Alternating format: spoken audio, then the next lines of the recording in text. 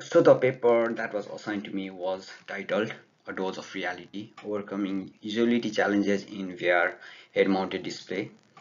Uh, the authors were Mark McGill, Daniel Boland, Roderick Murray Smith, and Stephen Brewster, all from University of Glasgow, UK.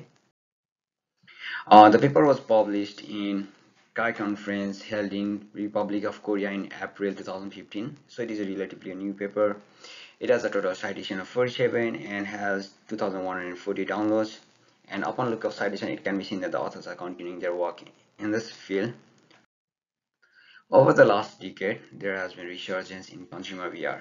The quality of VR experience has increased and the price for it has been decreased. But there is a usability issue with head-mounted display in VR.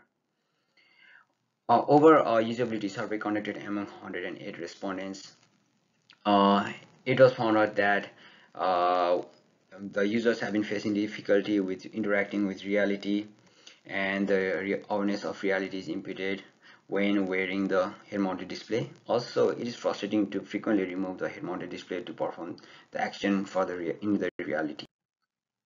So, this paper uh, aims to quantify how well users can interact with reality uh, how they can improve users capability to interact with reality and how they can uh, improve users awareness of reality. So to tackle each of those uh, aims aim uh, they conducted three different study. The study one was regarding typing keyboard. Keyboard was chosen because it was it is familiar and most commonly used input device and it can be used on-sighted and it has quantifiable performance matrices like word per minute accuracy etc so the example of four conditions, the baseline being the reality without VR, virtuality with no keyboard view wearing head-mounted display, and augmented virtuality with only partial blending, like uh, the uh, keyboards are only displayed when the hand reached out for the keyboard and you tilted your head towards it, and the augmented virtuality with uh, full blending, where there was full view of reality of the keyboard. So this figure shows it you can just pause on the video and look at it what each of those conditions mean. So from the findings of the experiment, experiment it could be tell that uh, the there was 100% accuracy for the first key press uh, and really in under two seconds for the reality baseline. For with VR with no blending they took uh, they took equal amount of time but like with relatively low accuracy. And that was because they they wanted to first find out the key like uh, place uh, find the correct placement for their hand in the keyboard. And for the partial and full bending although they had some relatively full amount of accuracy the duration to key press was slow because uh, the author explained it due to the latency over uh, the graphics rendering so its conclusion was that uh, with when the when the reality was incorporated in the virtual environment or in the virtual view uh, then it helped the users perform better with the reality. And there was no performance, dif performance difference between partial and full blending. And the second study was interaction with objects. The users were provided to explore Tuscany Villa, a demo quite, quite common for the Oculus Rift, and they were prompted to ask to interact with real life objects like the keyword fake donut cup placed around them. And in this uh, study, two manipulative factors were present, the blending factor uh, being minimal, partial, and full. Minimal means that only the only the reality around your hand will be shown, and the partial means all the interactive or uh, all the interactive objects around your hand like the calc like uh, the cop uh, the fake donut will be shown and the full means all, all view of reality will be shown. The control factors means that user user means that the user will be able to control uh, user will be able to control uh, well by the press of button when to blend in the reality and the infer means that uh, when the user move reach out their hands for the object and then looked into it then the reality will be added on. And again there was baseline for it. Like always when how did the user perform? By keeping their by wearing the head-mounted display all the time and by lifting their headset when they want to have a peek at the reality.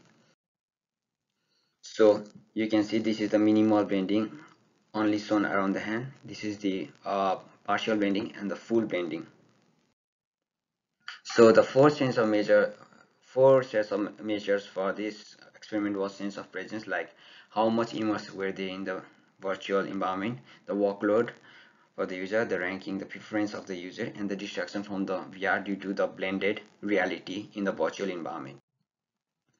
So when looking at the sense of being there, we can see that the minimal and partial uh, blending perform better and the inferred inferred control perform better. Same was for the ranking too. And for the distraction there was minimal distraction in minimal and partial blending and in inferred control factor also there was less workload in inferred control as the user did not have to press any button the conclusion from this experiment was found out that uh, it was better to add any set any portion of reality than than not having any at all. But also selectively incorporating necessary only necessary amounts of reality is better. Also, inferring engagement with reality is really important, as shown by the result. The third study was to find out about the awareness of the users of, with the others in the reality environment. So it we wanted to come it wanted to communicate like how to unobtrusively communicate the presence or, and proximity of other other people around the user, so that the user can wish to choose to engage if he wants to or not. Unlike objects, people are moving, and the initiation of in, of interaction could be bidirectional. Like I like the user could talk to the other people, or the other people could initiate the talk to the user. So it should uh, allow both way. For the experimental setup, uh, the experimenter would repeatedly enter the room again and again, while the users explore the Tuscany demo again. And the and the three conditions were baseline by wearing the VR all the time and the low engagement like the uh, the presence of the other people were shown in a transparent ghost-like figure and full engagement means opaque presence in virtuality and opaque figure of the user like it can be seen from these uh, figures. And the measures were sense of presence distraction from reality social presence and comfort. The conclusion was since there were more view more view of reality of course the awareness will be improved. But however it was interesting that the low engagement state was as distracting as the high engagement state. And it was not it was quite opposite to what the authors hypothesized. And the participants the participants interview suggested that they should have rather incorporated a non-visual representation of the people like a text or cue. But again it might uh, give away the sense of proximity. There was no significant effect on sense of presence because uh, because yeah, that can be explained due to Slater's plausibility illusion. Because since they were the the people were expecting people to be or people to be in the Tuscany villa. So the appearance of the ghost-like figure or the opaque figure aligned with the VR environment. So the sense of presence remained in the virtual environment. Uh, the conclusion from this paper could be derived that incorporating reality detracts from VR experience. But when there is a transition in the mixed reality continuum, the user can better uh, handle with the reality or manage the things around him. Uh, so I really like this paper because uh, the authors presented their problem statement and backed up with their initial survey with the 100 respondents. Is study targeted a specific question there was experimental setup which were well defined and each experiment has well defined baseline the measures used in each study and experiment was easy to understand and compare to. And they also uh, cover different conditions to cover over the transition in mixed reality continuum. As the use of both minimal and partial blending help them realize that only necessary amount of reality is enough. Also i really like the concept of post hoc interview after the which is after the experiment because it came it to the new insight for the future work But what I was resolved with was like they only had few numbers of participants. And the diversity among the participants was really low like in terms of experience in VR2 they only used a single VR demo and the amount of tasks in VR, VR was really really low. Also the info control may not perform always better than the user control the awareness with abstract cue like text, audio, etc. might not give a sense of proximity and its explanation to the participants could yield further response which could be insightful. The study through should have been conducted with different size of people in VR environment too because they, they, that will be less distracting. Uh, so my discussion question is that the authors were too much focused on the sense of presence. They should have conducted an experiment where they trade off the sense of presence for reality. Uh, previous in previous ex experiment, the person size and sense of proximity was relatively as exact as in real life. So I will try to minimize the size and put the uh, put that figures around only in the top corner of the virtual screen because that will uh, mean in less distraction lead to less distraction while giving the sense of awareness. While it also takes away some sense of presence but I think uh, the trade-off could be well worth it for the users.